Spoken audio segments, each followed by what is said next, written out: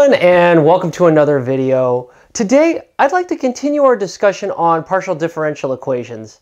So in a previous video we looked at deriving the 1D wave equation claiming that it was one of the most popular partial differential equations around. Well, if the 1D wave equation is the Mario equivalent of linear homogeneous partial differential equations, then today I'd like to look at the Luigi of PDEs, also known as the heat equation. So to set the stage for the heat equation, I uploaded a short video physically demonstrating heat transfer in a body while simultaneously managing to give myself a pretty good sized burn on my index finger. So if you haven't had a chance to watch this video, please take a moment to step back and view that and laugh at my expense a little bit before continuing on. So with an understanding of the physical phenomena we're trying to model, let's jump over to the whiteboard here and see how we can write the heat equation as a partial differential equation. All right, so with that being said, let's go ahead and see if we can derive the heat equation. Before we get into this, let's make a couple of simplifying assumptions. That's going to make our life and uh, math a little bit easier. So first off, let's go ahead and assume that uh, basically we're dealing with a homogeneous material.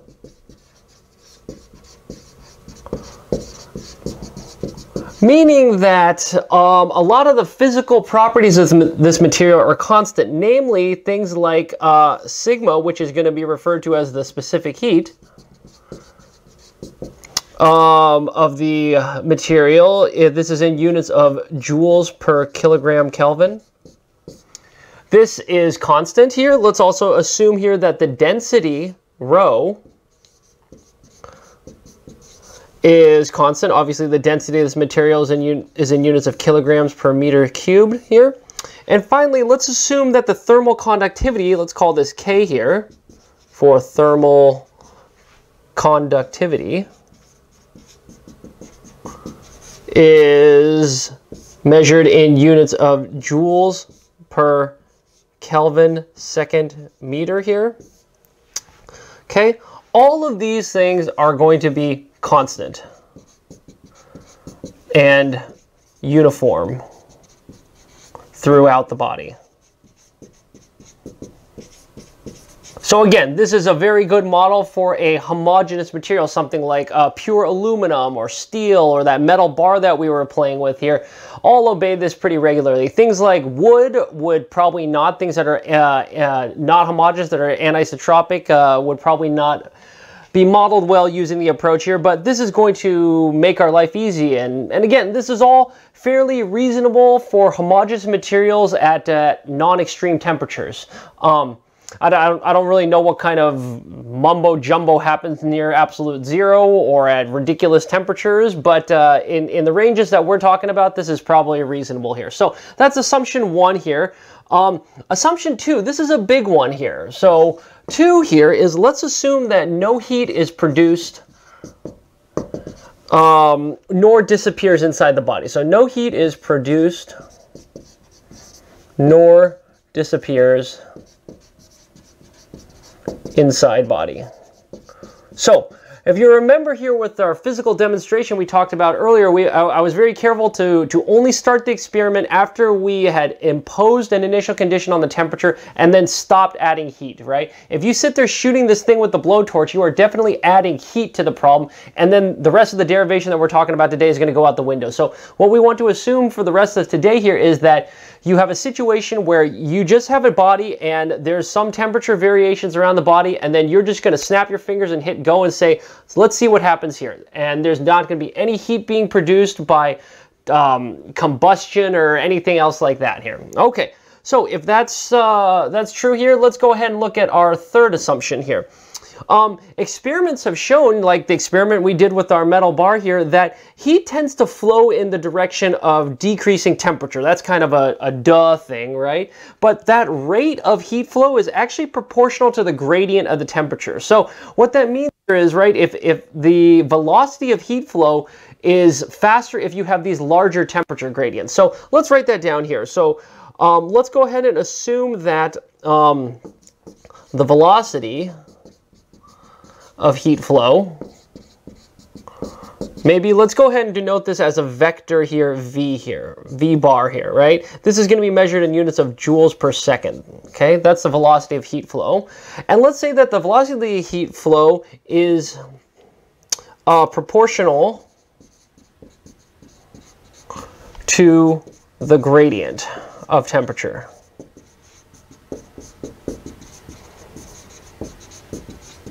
So in other words, the velocity of heat flow here is going to be uh, negative of the thermal conductivity times the gradient of the temperature here. So the temperature distribution that we'd like to use here is, let's use our variable v, uh, u, excuse me, here for uh, temperature. So u here is really, this is the function that we're looking for. So u is going to be a function of x, y, z, like where you are in the bar here or in the metal or, or the body that you're interested in. And obviously it's going to be a function of time here, right? So this here is temperature temperature at point, maybe we should say at spatial point x, y, z, and time t, right, Our temporal point here, right? So here's our third assumption is that heat is going to behave like this. It's going to flow in the opposite direction of the gradient. So it's going to go from hot to cold here. So hence, hence the negative sign here, right? Okay, um, and maybe I guess we should tack units onto temperature here. So let's, let's stick with SI and use units of Kelvin here, okay? So here's some of the physical assumptions for our system, and with these in mind here, I guess we can kind of draw a picture of what we're talking about. So what we're dealing with here is we would like to have some body here. Um, you know, I don't know. Let's just draw it. Maybe it's, a, it's this perfect cube here or whatnot, or rectangular object here. So this might be the overall body. Okay. And then what I'd like to do now is I want to consider some region in this body here. Maybe um, we'll draw it as kind of this. And I'm trying to draw a volume. And I know it might not look like that here in, in uh, in it, on the board, it's really hard to draw a three-dimensional object, but you can imagine this is a volume here inside this this larger body here, okay? And let's denote this this region here as T here. So T is going to be the region of interest inside body. Okay? Furthermore, we are going to say that this re region T here, that volume, right, it's covered by a surface here, right? Let's call the surface S here. So S here is going to be the uh, surface of T, okay? Okay, the last thing we want to maybe define here is that um, we are going to have a, or, or define an outward facing normal for this here. So I have the surface s of t here, and from that surface, right, we can get a outward pointing normal vector at any point on this surface here. Maybe let's call that little n bar here, right? So little n bar here is going to be our outward pointing normal.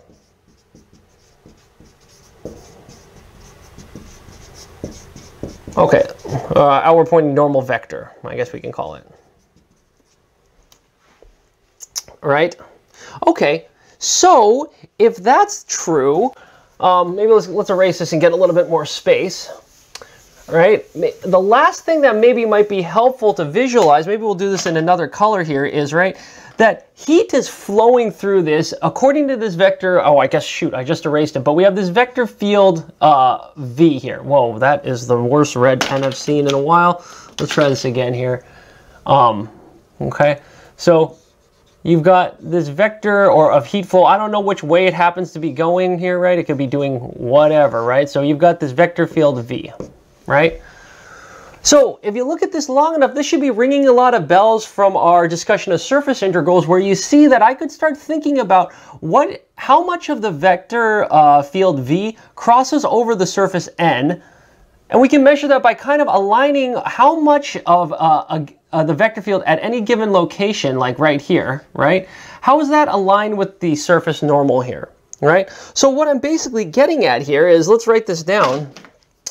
You can think of this here as um, you have this quantity v dot n, right? Right? This is sort of telling you the dot product between these is, is telling you how much is the, the, the heat flow at a given location aligned with the surface here, right? And if we multiply that by the area here, right? And we take the magnitude of this thing, right? You can kind of think of this as this is really the amount of heat that's leaving T at a given area delta A, right? So this is heat leaving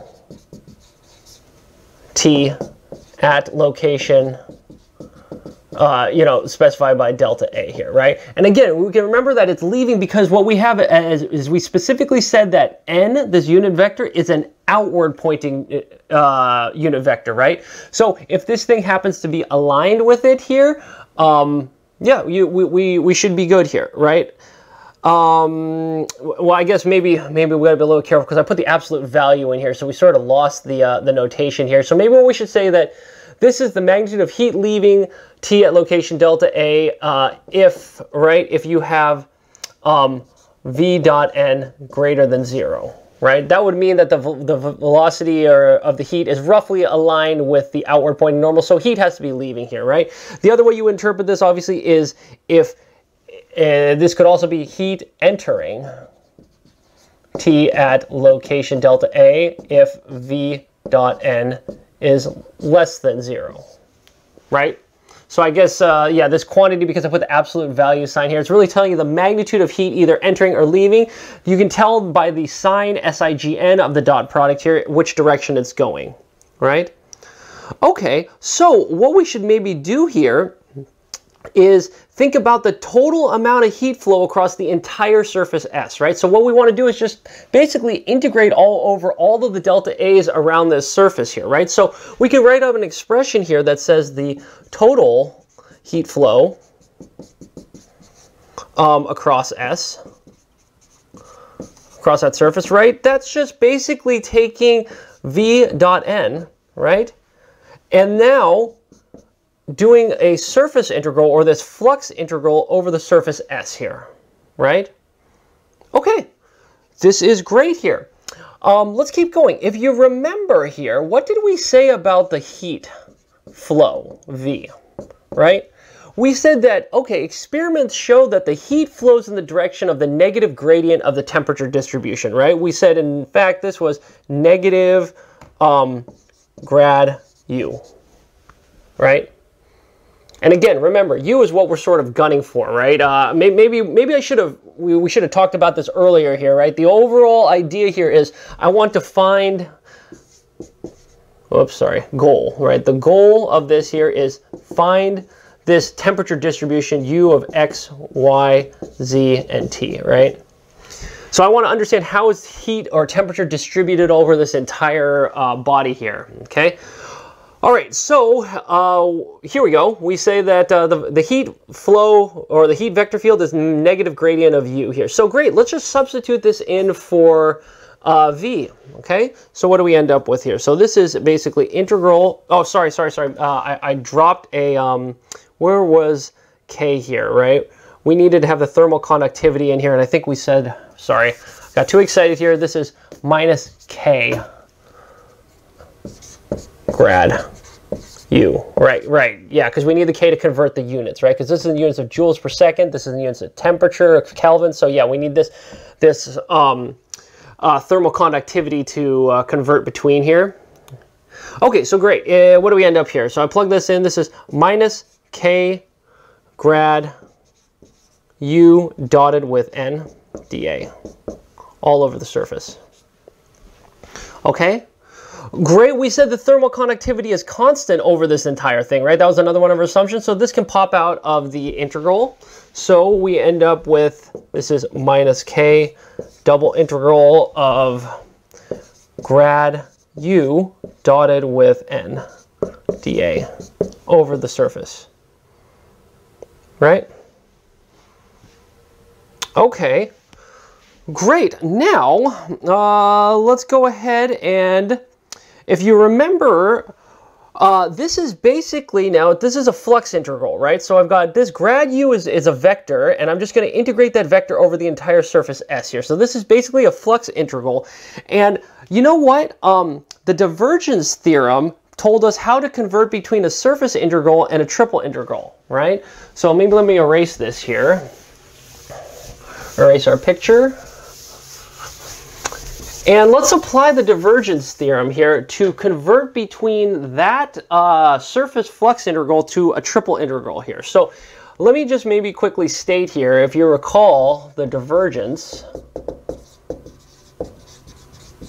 theorem, it basically said what here? It said that you can take, um, where did I have it here? Oh yeah, sorry here. So the divergence theorem here, right, was you had some f dot n dA over some surface S here, right? That was the same thing as the triple integral of the divergence, whoops, div, divergence of that function uh, vector f over the entire volume here. The entire volume here, we called it T here, right? That was the region and it is enclosed by the surface S here. Okay, so great. Let's just apply this to our situation here and change that double integral into a surface integral here. So what we end up with here is um, we have negative thermal conductivity K here times triple integral of T times the divergence of the gradient of U, right? Uh, over the entire volume T, so or dx, dy, dz, right? Okay, great. So if you look at this here, what is this? This is the divergence of the uh, gradient here. And actually, if you remember from our previous discussion that we actually showed that that was, um, oh crud, I, I forgot to scroll to it. Hold on a second. Let me let me find that section here in the notes here because what I want to do here is we want to go ahead and show that basically the divergence of the gradient, that's the same thing as the Laplacian. So let me, um, let me pause the video here. I'm going to find the notes and we'll, we'll derive that real quick. All right, okay. I just wanted to make sure I didn't um, misquote anything here. So uh, let's go ahead and make a little side note here. And let's examine this integrand here. So uh, if you remember, right, so grad u here, right? This is just going to be partial u with respect to x, partial u with respect to y, and partial u with respect to z, right? That was the gradient here. So therefore, the divergence of the gradient here, right, is, well, let me tell, let me just write it over here. We get a little bit more space, and we'll write it down. So all I have to do is hit that with the divergence operator here. So in this case now, so the divergence of the gradient of u here, right? This now becomes, uh, sorry, where did I have it? Oh yeah, here. Um, uh, d dx, right, times the first element of this thing, which was over there, right, d u dx, right, plus d dy du dy plus d dz du dz, right? So this whole thing basically becomes partial u squared with respect to x squared plus partial u squared with respect to y squared plus partial u squared with respect to z squared here, right? And if you recall, this is the same thing as the uh, Laplacian uh, of u here, right? So this is the same as the Laplacian of u, right? So it's just another way to write this. So instead of having to write this combination of the um, double, uh, the second partials here, right? We just have a term for that. That's the Laplacian of u. So I can maybe um, more quickly write this this integrand down here as we end up with. Uh, let me switch back there here we end up with this whole thing looks like negative k triple integral over the volume or over the region t of the Laplacian of u dx dy dz here, right? And remember the left-hand side, this whole thing, what we were trying to derive here was just an expression for the total heat flow across uh, the surface S here, right? Okay, great. So let's box this up. We'll save this, and we're going to use him in a second here, right? So here's one expression for the total heat flow um, across S. Okay, great. So now let's approach this from another perspective. Let's think about what is the total amount of heat that is actually in uh, the volume T. So let's come over here and see if we can get ourselves an expression here for the total heat in that region T here, right? And maybe let's call this H for the total amount of heat inside that region of interest, okay?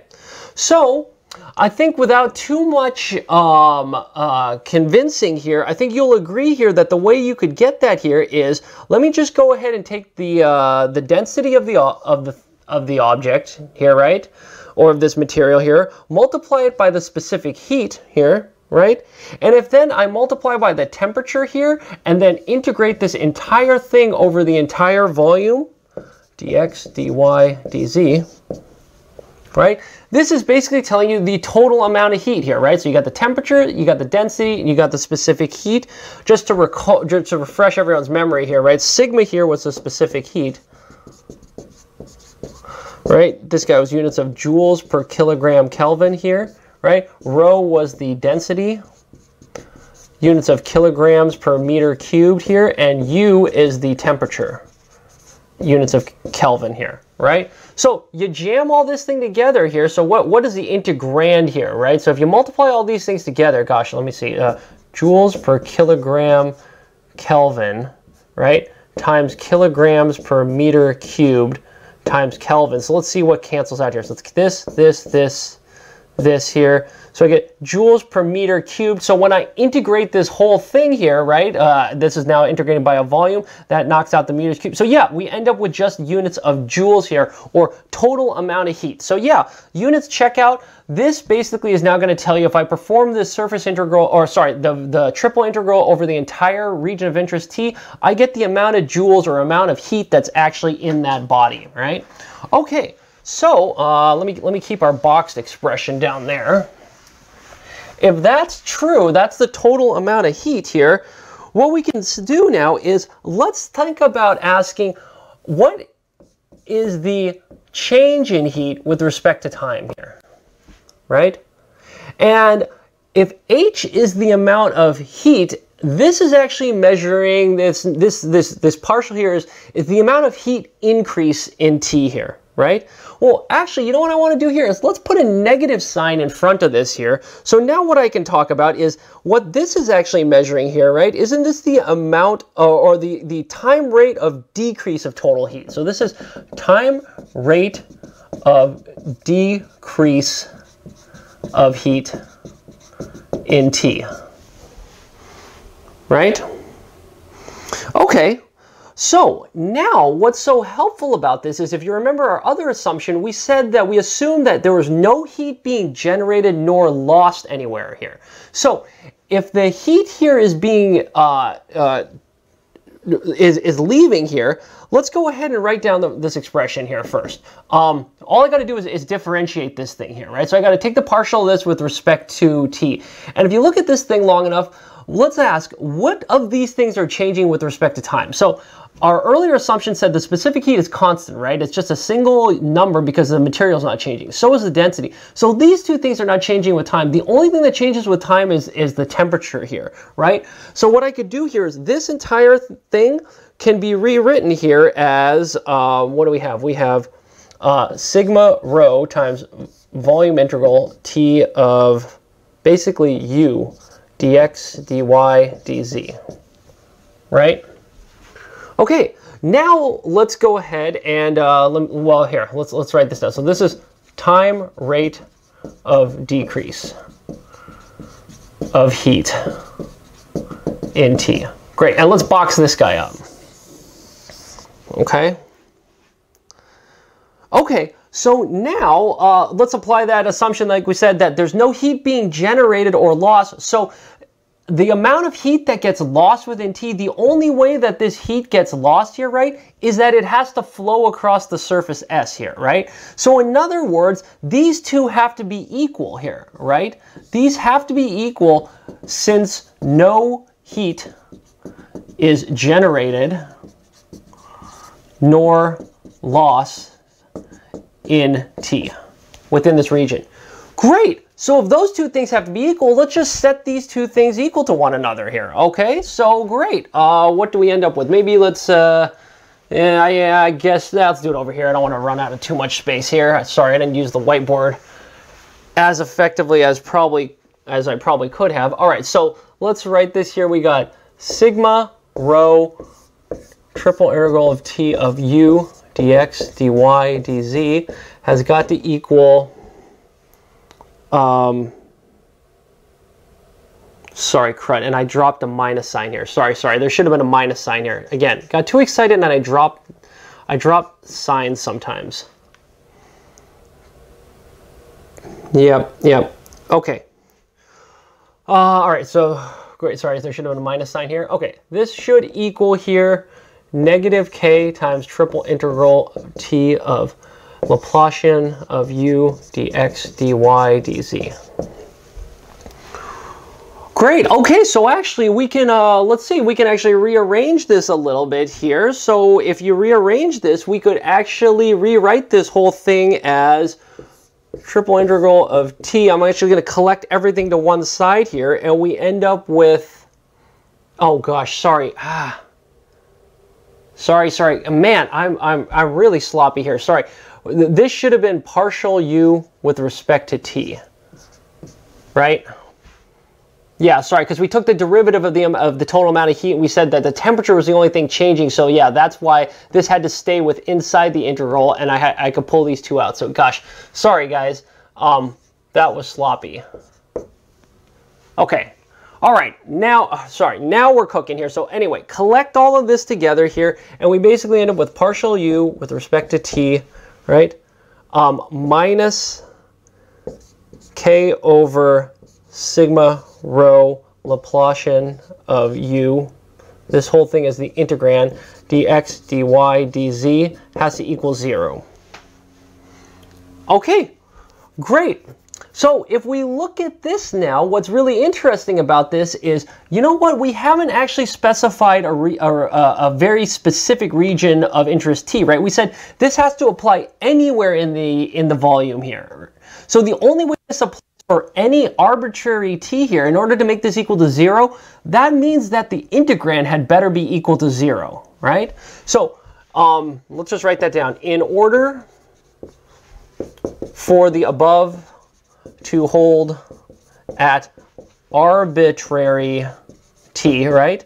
The integrand must be zero, right?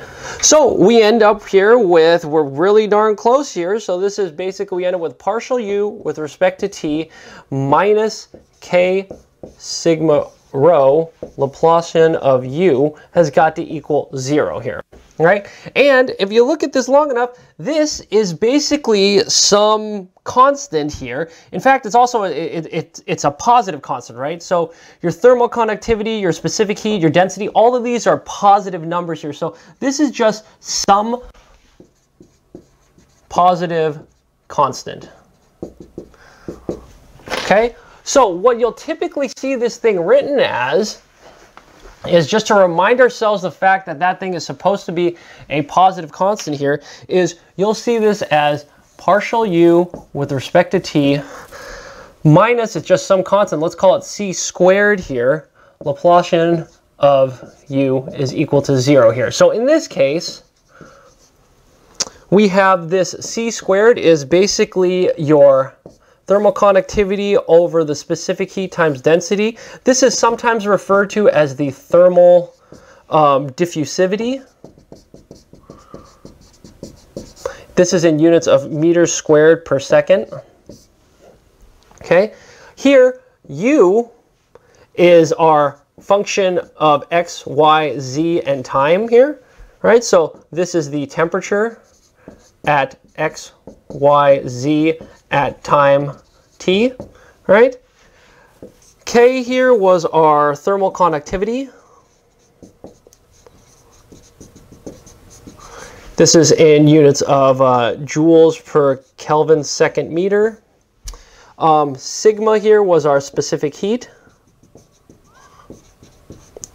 This was in units of joules per kilogram Kelvin. Uh, rho was our density of the material, units of kilograms per meter cubed. And finally, uh, squared U was our Laplacian of U, right? Which was just uh, our, our second partials added all up together here. So this here is our heat equation. Because we saw that it measures or describes how heat moves around a region um, if there is no heat being generated within that given region here, right? This is also sometimes referred to as the diffusion equation because it can be used to model how chemicals diffuse um, from a, something like within a gas here, right? As you can probably imagine that acts a lot like how temperature or heat distributes itself through some type of body here. So this is actually kind of interesting. So you end up with uh, this, again, very interesting, elegant partial differential equation which governs um, a, a, very interesting physical engineering phenomena here. So, with that, um, I think we've gone ahead and derived it. We see that this now is our linear second order homogeneous partial differential equation, very similar to a 1D wave equation. So what I'd like to think about next here is how can we go ahead and solve this uh, PDE for a variety of different conditions. So I think we're going to save that for another video though. So um, with that being said, I hope you enjoyed the video. If so, please subscribe to the channel because we will have other videos including how to solve this um, both analytically as well as discuss numerical solutions to partial differential equations in the future. Um, and I hope to catch you at a future video then. Bye.